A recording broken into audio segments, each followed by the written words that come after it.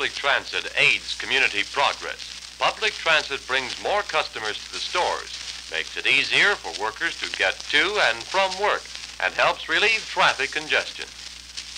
Central Standard Time at the tone, 9 o'clock.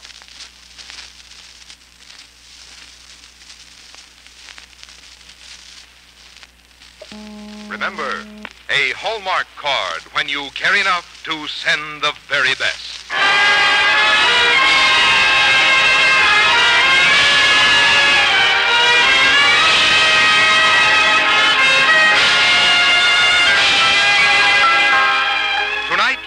Hollywood, the makers of Hallmark greeting cards bring you Deborah Kerr in Margaret Landon's Anna and the King of Siam on the Hallmark Playhouse.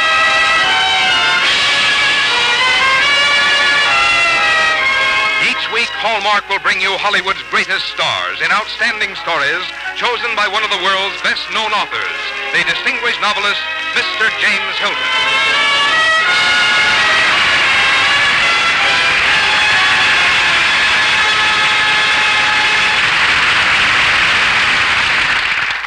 Evening, ladies and gentlemen. This is James Hilton. To you a story that for charm and delicacy must rank high among the tales of recent years. It's by Margaret Landon. And if I were asked what it's about, I could only tell you it's about, well, Anna and the King of Siam. In fact, it's one of the few titles nowadays that really do mean what they say. In her book, Miss Landon has been able to combine her own personal knowledge of the country with the rather wonderful career of the real-life Anna, who actually lived in Siam almost 90 years ago. I think you'll enjoy this story, which so artfully combines the wisdom of the Orient with the practicality of a very delightful schoolma'am. And for the school, more delightful than Deborah Kerr, that lovely actress who has endeared herself to millions on both sides of the Atlantic. And now about Hallmark. Thank you, Mr. Hilton. Hallmark cards have a magic carpet quality about them. They take you visiting, however great the distance, to help celebrate a birthday, an anniversary, or just any day when you're thinking of someone. There is a quality about Hallmark cards that whispers good taste. And identifying Hallmark on the back adds meaning. It says you cared enough to send the very best. Now, Hallmark Playhouse, presenting Margaret Landon's Anna and the King of Siam, starring Deborah Kerr.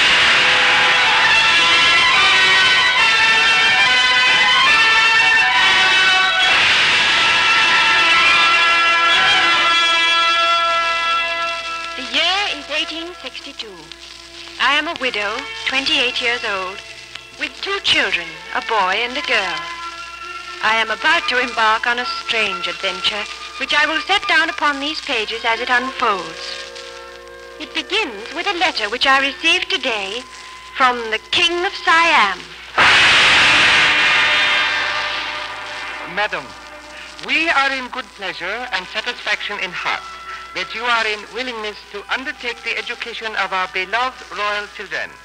We beg to invite you to our royal palace to do your best endeavorment upon us and our children.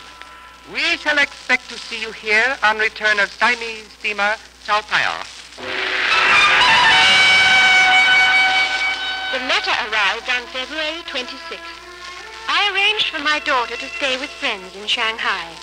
And a short time later, my son and I and our two servants were on the Chow Paya, bound for Siam. The ship moved up a river and into the Arabian Nights. We saw houses thatched with palms and the spires and turrets of castles. And by the time it was dark, we were at anchor. My small household waited uncertainly on deck with me. And finally, out of the shadows flashed a long gondola, beautifully carved like a dragon, with torches reflected upon the rhythmic dip of white paddles. A Siamese official mounted the side of the Chow Paya and came up to me. Good evening, sir. Uh, are you speaking to me? But of course. Good evening, sir. Are you the lady who is to teach the royal family? I am. Where is your husband? My husband is dead. Then where will you go in the evenings? Really, that is none of your affair. As you please. Have you friends in Bangkok? I know no one in Bangkok at all. What will you do? Where will you sleep tonight? I don't know. I am a stranger here, but I understood from His Majesty's letter that a residence would be provided for me on my arrival. His Majesty cannot remember everything. You can go wherever you like. Good night. Nellie, he's going. But this is impossible. Mrs. Leonowens, this is no place for a woman like you. Let me take you back on the Southwire. Captain Olsen, I can't possibly go back. I've given my word. Here comes another boat, Mama. Who's below? Captain John Bush, the harbor master. Captain Bush, come aboard, sir. That's just what I'm doing, Captain Orton. Uh, Mrs. Leonowens, may I present Captain Bush, the harbor master? How do you do, Captain Bush? I'm very happy to meet you, ma'am. My wife and I would be most pleased if you would accept our hospitality for the night. Oh, thank you. I didn't know what to do. Well, there's nothing to do. This is Siam. The important point here is to be able to wait until things come to you. In due time, the Kralahome will arrange an appointment for you with the king. The Who will arrange an appointment for me? The Kralahome, the man who just left. He's the prime minister, the most important man in the kingdom. In the meantime, you come with me.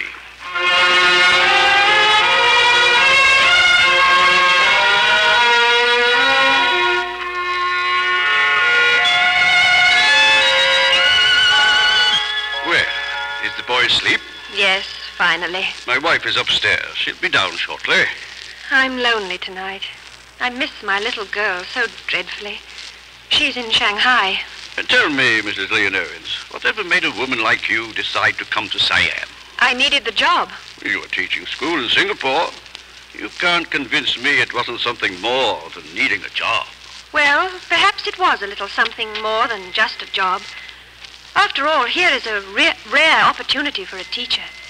Here is a chance to teach the children of a king what they might do for their people. Here, perhaps, might even be a chance to teach a king. I'm afraid you won't teach this king much of anything. And incidentally, you're going to see him tomorrow afternoon. A message came from the Kralahome a few minutes ago.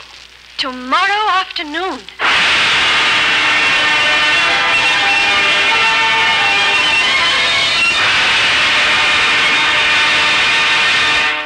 Your Majesty, the new English governess, Mrs. Anna Harriet Leonowens, and her son, Louis.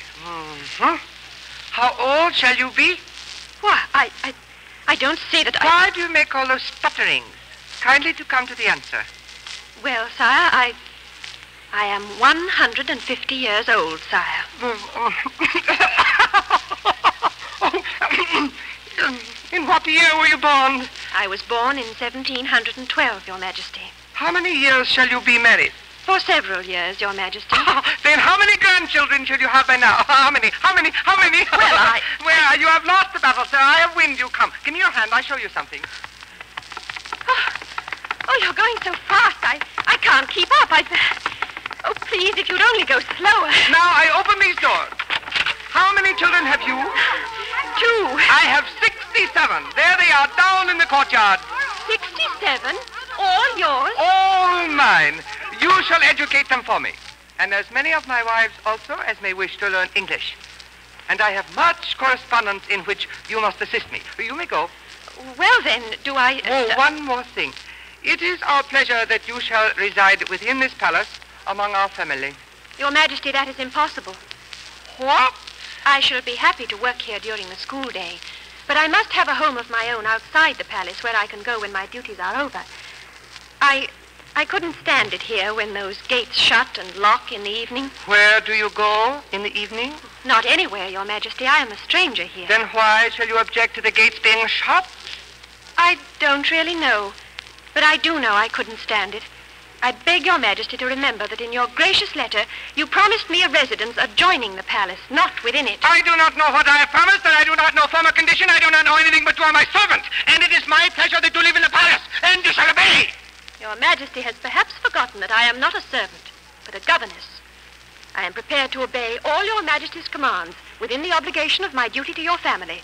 But beyond that, I can promise no obedience. You shall live in the palace. You shall live in the palace. I will not. You will live in the palace. We will discuss this again when you are not so excited. You shall commence royal school in our pavilion Thursday next. That is the best day for such undertaking in the estimation of our astrologers. You may go, sir. Yes, Your Majesty. Thank you, Your Majesty. Good day, Your Majesty.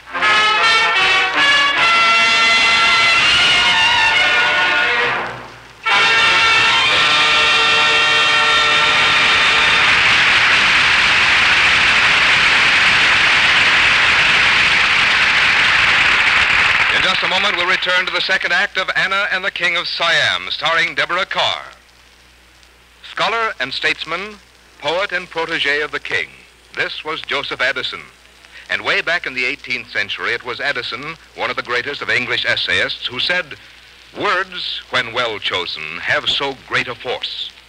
Today, too, as Addison found true so long ago, a word well chosen can be a great force in cementing friendships, assuaging griefs, strengthening love. And no one appreciates the power of well chosen words more than the makers of Hallmark cards. That is why the words in a Hallmark card accurately reflect your own feeling, whatever the occasion. Heartfelt congratulations, warm birthday or anniversary wishes, or just a thoughtful hello to distant friends. There's a Hallmark card that says just what you want to say, the way you want to say it. And what is true of the right words in a Hallmark card is equally true of everything else about it. Its artful design, quality materials, superb craftsmanship. So when you choose a card to express just you to a friend, to a loved one, remember to look for the hallmark on the back. That tells them you cared enough to send the very best. And now here is the second act of Anna and the King of Siam, starring Deborah Kerr.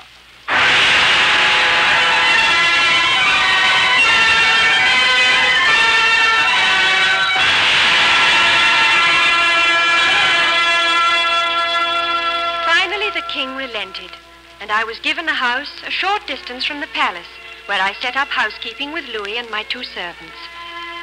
On Thursday, the king sent for me, and Louis and I were conducted to the temple. A long, finely carved table with chairs about it stood in the center of the temple, facing a golden Buddha.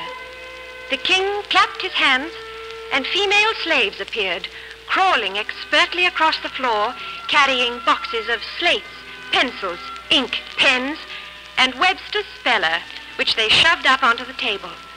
The king introduced each child to me, and then he spoke to them and translated what he had said.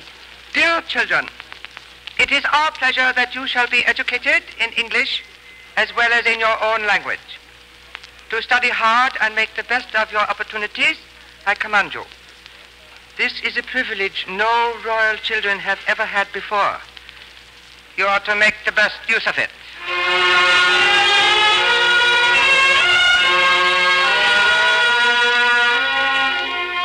All right, children, open your books to page one. They don't understand you, Mama. Open your book, Louis, and show them. Open book. That's right. Open the books. Now look. This letter, A. This letter, A. That's very good. Now try again. A.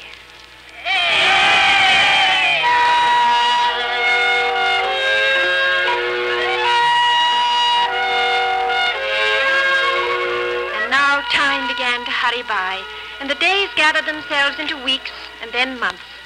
Around me, the busy life of the slaves, the harem, the city, and the court went on, but my mind and heart was busy with my students. This is the world. As you see, it is round. Now, I will turn the globe around and show you your country. Here we are. This is Siam. But it is so little. Yes, but look, here is the country I come from, England. You see, it is even smaller. It is such a pretty yellow color. It is a very pretty country. I wish I could show it to you. I wish I could take you to London and let you lift your faces against the coolness of the fog. I wish we could stand together, you and I, and watch the guards in their scarlet uniforms changing in front of Buckingham Palace. Old guard, present arms. New guard, present arms.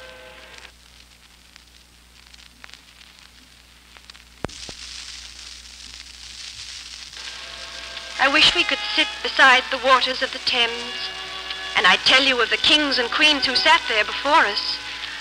Oh, I wish we could see it all today. Piccadilly and Trafalgar and Leicester Square.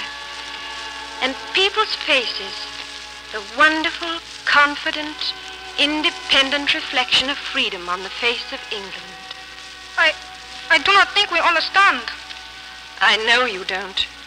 But I'm going to do my best to make you understand. I want you to know that a king does not have to rule by fear, and that a good king does not enslave his people, but sets them free.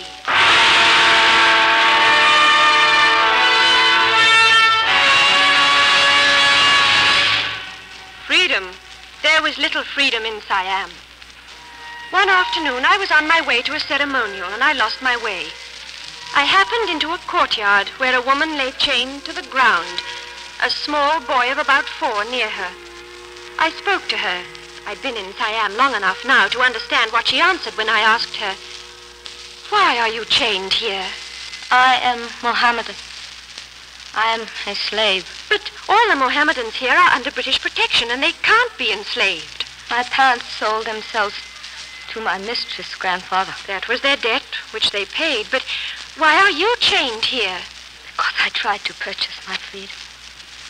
I was given my purchase money by a Mohammedan noble woman. I offered it to my mistress, and she refused to accept it. So I managed to escape, and I married a merchant. And then, a few months after my marriage, as I was sitting on the steps of my home, I was seized and brought here. I was left here until it came time for my child to be born. And here I was chained again. One month after his birth. Who is your mistress? Chao Tramanda Om. She is one of the most powerful women in the country. The king is her son-in-law. I will see what I can do.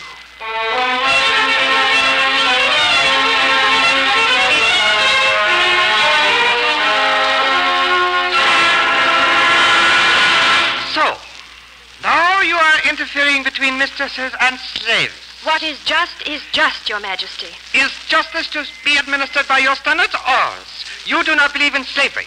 We do. The law of your country states that bond servants have the right to redeem themselves. So you have been invading our laws. I have been studying them. Farewell. Your petition is granted. You speak the truth. It is the law. Your Majesty. The chief of the female judges, Her Ladyship Kunteo Up, will make an investigation of the case of the slave girl. You will see, sir, that even though Siam is not England, there is justice in Siam.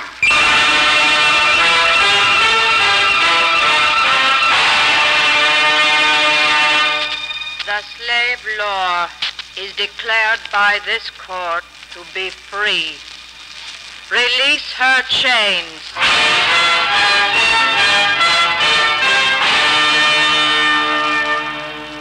Siam memories. Colorful, glittering memories set to Oriental music. Memories threaded with dark strands of loneliness for the daughter growing up in Shanghai. Memories of people hungry for food, hungry for knowledge. Memories of a king like no other king that had ever existed before. I sent for you. Why were you so long in coming? Well, I, I, I was in bed, Your Majesty. It took a certain amount of time to get dressed. 18th of October, 1863. 18th of October, 1863. Ma'am, do you understand the meaning of the word agility? Your Majesty is certainly giving me a very practical illustration of the word. On the 18th of October, 1863, I shall be 59 years old. And you can see that I am as young and as strong as ever. But here, in this very newspaper that I hold in my hand, American missionaries have said that I am a spare man. How can I be a spare man? A king cannot be a spare man. How can I be spared from my kingdom? Who can fill my place, I ask you? Who can fill my place? Your Majesty, the word spare has two meanings. One meaning is thin. All the missionaries meant to say is that you are a thin man. I am not unnecessary as they have suggested. They must know that I am not a spare man. They must know that I am as young as ever. You will notify them immediately. Yes, Your Majesty. Yes. Uh, before you go, there is something I would like to give you. I am well pleased with you. A diamond ring. Your Majesty. You are a very attractive woman. Your Majesty, if I accept this ring, what does it mean in your country? The same as it means in yours. Your Majesty, I I thank you for the honor you are paying me, but I cannot possibly accept. No woman has ever refused me before. If she did, she would not live long. I am sorry, but you must understand that I come from a different land where there are different customs. Our customs are better. That is a matter of opinion, Your Majesty. It is a matter of record. You will not change me. No matter what you say to me, you will not change me. You'd like to change me, but you won't. Go back to your schoolroom and stay there.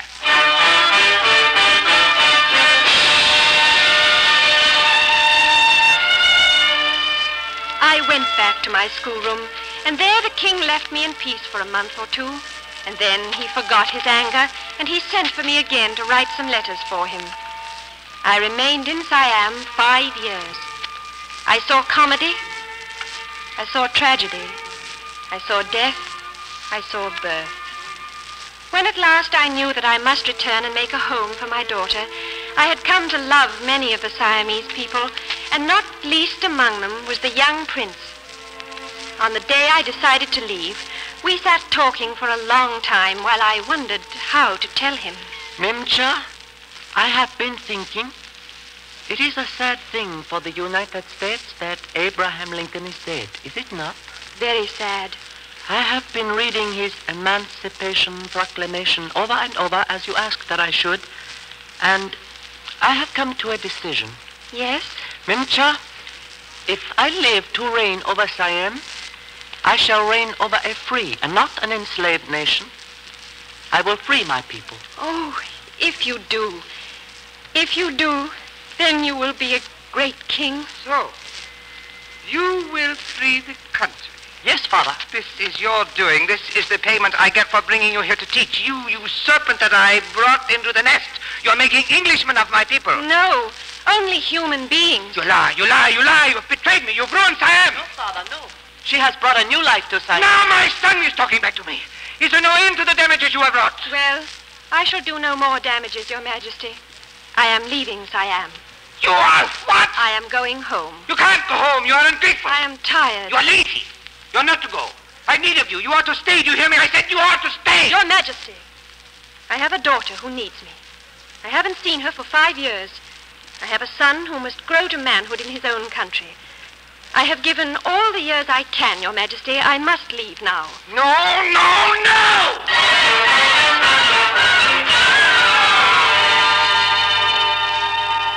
And so Louis and I left Siam, and the voices of those I had loved floated after us from the palace as we stood by the ship, taking our last look. Those are the voices of your students, Memcha, calling to you from the palace. I shall carry their voices with me always. Will you tell them that for me, Prince Chulalongkorn? I will tell them.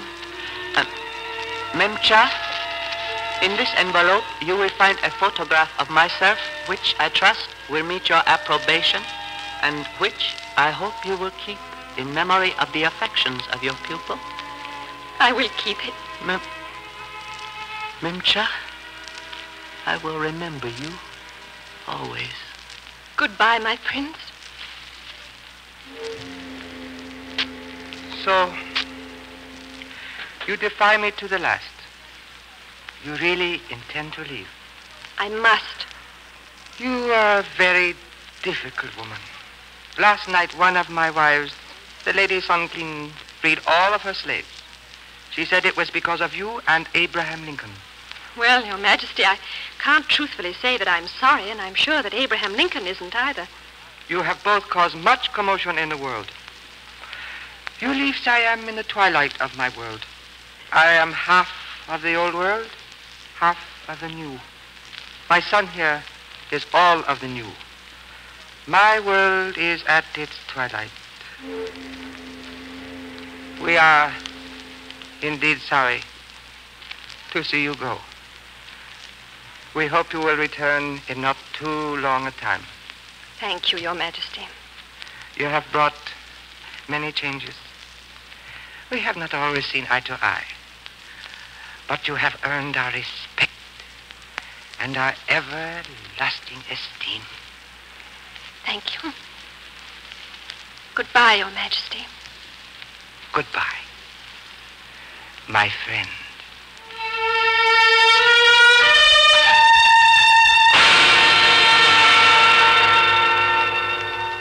And so I have left Siam, and the prow of the Chaupaya is turned towards England.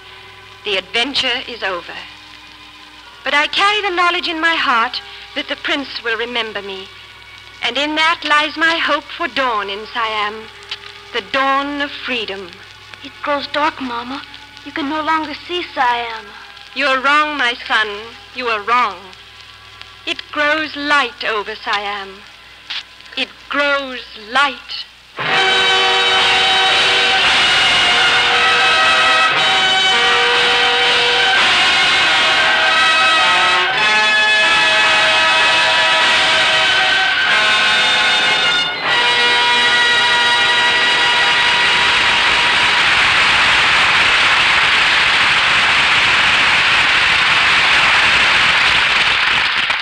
James Hilton and Deborah Kerr will return in a moment. Calling all collectors, those young collectors of the famous Hallmark dolls of the nations. For now, there are eight brand new dolls, making a total of 36 dolls that so many youngsters love. You know, these gay Hallmark dolls educate while they fascinate, because each represents a different country, and each carries a clever verse telling of that country's enchanting sights and customs. The eight new dolls are charming little ambassadors from Ireland, Sweden, Alaska, Switzerland, from Scotland, Australia, Hawaii, and mysterious India. Like their cousins from other lands, they stand by themselves, wear colorful costumes, and hats topped off with a real feather plume. Delight, delight some child you know with these captivating dolls, as easy to send as any Hallmark card. At only 25 cents each, you couldn't choose a more welcome, constructive gift. And for only one dollar, you can buy two dolls and a Hallmark collector's album, roomy enough to hold the entire collection. See them tomorrow at the store where you buy your Hallmark greeting cards. Here again is James Hilton. Thank you very much, Deborah Kerr, for your delightful performance and a lovely story. We all hope that it won't be long before we have you again on the Hallmark Playhouse. That's very nice of you, Mr. Hilton, and thanks to Ted Osborne for his fine performance as the king. You know, this is my first visit to the Hallmark Playhouse, and incidentally, one of my few appearances on American radio. It has been one thing I've looked forward to and enjoyed very much. Well, after this, you certainly aren't a stranger, and you can count on a great welcome here on the Hallmark Playhouse. As a matter of fact, Mr. Hilton, I've never felt like a stranger as far as Hallmark is concerned. Your cards are a constant reminder of the goodwill and thoughtfulness that exists between us all. And I think your Hallmark dolls are lovely. I especially enjoyed Sandy of Scotland, since I know that country so well. I can imagine how much children love them. Thank you again, Miss Deborah Kerr, for all of that, and also for your fine performance. Oh, and I understand that next week we will have the pleasure of hearing your own novel, so well remembered. It's a wonderful story, and I urge all of our audience to be sure to be listening. Well, yes, we are doing so well remembered next week, and we are honored in having Van Heflin as the star. And the following week, we will present W.F. Harvey's August Heat, starring Fred MacMurray. Our director-producer is Bill Gay, our music is composed and conducted by Lynn Murray, and our script tonight was adapted by Jean Holloway. Until next Thursday, then, this is James Hilton saying good night. Look for Hallmark cards that are sold only in stores that have been carefully selected to give you expert and friendly service. Remember Hallmark cards when you care enough to send the very best. Deborah Kerr appeared by arrangement with Metro Goldwyn Mayer, producers of the Technicolor musical That Midnight Kiss, starring Kathryn Grayson, Jose Iturbi, Ethel Barrymore, and Mario Lanza. This is Frank Goss saying good night to you all and inviting you next Thursday and every Thursday to tune in one half hour earlier and listen to the adventures of Casey, crime photographer, followed by the Hallmark Playhouse. This is CBS, the Columbia Broadcasting System. This is KMBC, Kansas City, Missouri.